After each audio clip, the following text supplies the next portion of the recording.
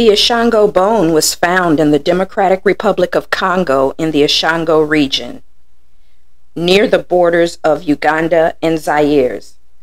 It was buried in layers of volcanic ashes on the shores of Lake Edward.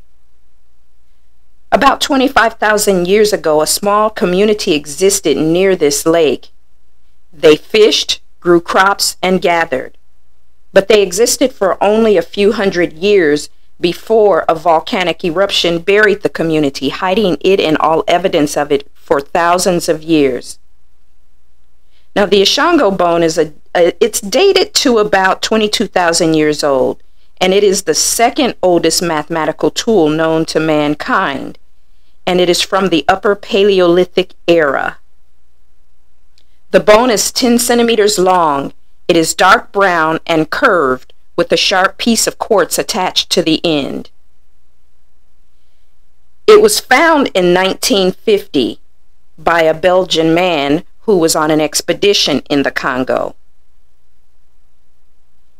It dates to about 18,000 to 20,000 BC, so it's pretty old.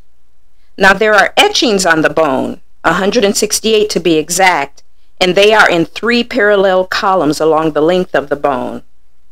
The first column is the M column, M for middle. The left column is referred to as G, and the right column is referred to as D. Now, the discoverer of the bone, Jean de Heinzelin, believed the bone was evidence of the knowledge of simple mathematics. This interpretation is based on evidence which compared Ishango harpoon heads to those found in North Sudan and ancient Kemet.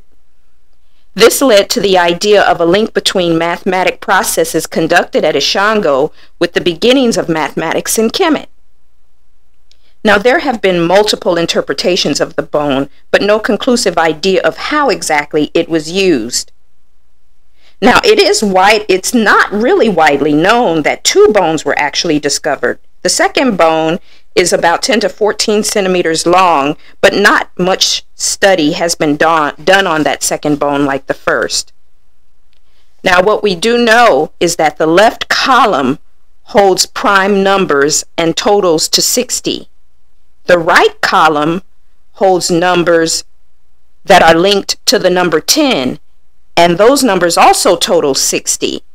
And the middle column holds a number and it's double, and it totals 48 in the column.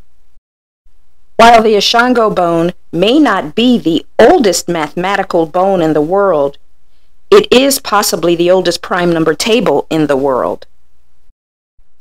You know, today I feel like modern man, you know, pounds on their chest and claims to be the creators of so many things. They brag about the accomplishments of today, modern technology, when really all modern man has done is stood on the shoulders of geniuses and giants of thousands of years ago and has taken what they've done, in some cases expanded on it to better mankind, and in some cases just straight up took credit for what they never created or, you know, never even had the mental capacity to envision. And, you know, I give credit to our ancient ancestors because they've left behind some remarkable things like this bone. It's something small, something simple, but tells us the extent of their mathematical knowledge then. And that is the foundation of so many inventions and creation and so much technology that we has that we have today. So um, the Ishango bone is just something very interesting and I wanted to share that with you guys.